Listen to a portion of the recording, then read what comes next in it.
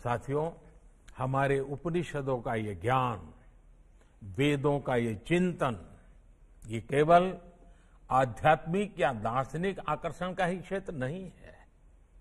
वेद और वेदांत में सृष्टि और विज्ञान का भी दर्शन है।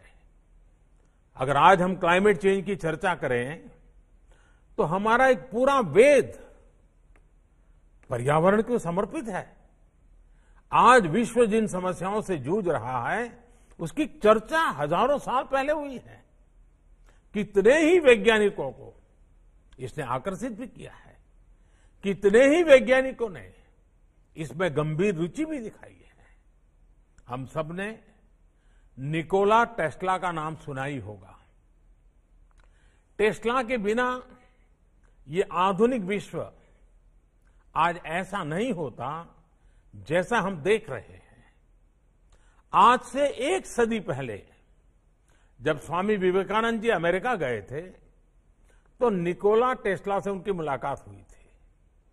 स्वामी विवेकानंद जी ने टेस्ला को जब उपनिषदों के ज्ञान, वेदांत की ब्रह्मांड व्याख्या के बारे में बताया था तो वो हतप्रत थे। आकाश और प्राण जैसे संस्कृत शब्दों से ब्रह्मांड की जैसी गहरी चर्चा उपनिषदों में की गई है। टेस्ला ने कहा कि वो इसे आधुनिक विज्ञान की भाषा में गणितीय समीकरणों में लेकर के आएँगे।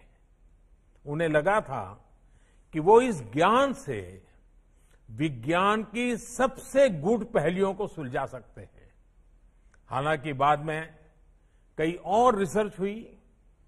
जो चर्चा स्वामी विवेकानंद जी और निकोला टेस्ला की हुई थी, अलग तरीके से अलग तरीके से वो चीज़ें आज हमारे सामने आई हैं।